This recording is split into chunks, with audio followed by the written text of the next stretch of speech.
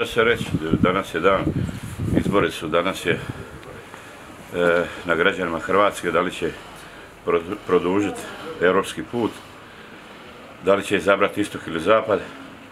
Ovi su izbori jako, jako bitni. Jasno je da je ima nekoliko godina u Hrvatskoj bila plaća 600 eura, danas je 1600. Mi imamo strašan rast i nadam se u svijest građana da ćemo krenuti, ne krenuti, nastaviti taj put, da se ne bi vraćali prema nekim starim i lošim vremenima. Ako vas, jel vas hoće smije pitat što reći da niste se i vi uključili u ovu utrku ili ne smijeli, ne bi smije pitat? Ma nećemo ništa, nećemo pa, ništa. Dobro, ja imate li još šta možda je to za reći? Ma za lokalne izbore ću ja ići, za parlamentarne državne izbore ovaj, e, nisam imao ambicija, niti želim.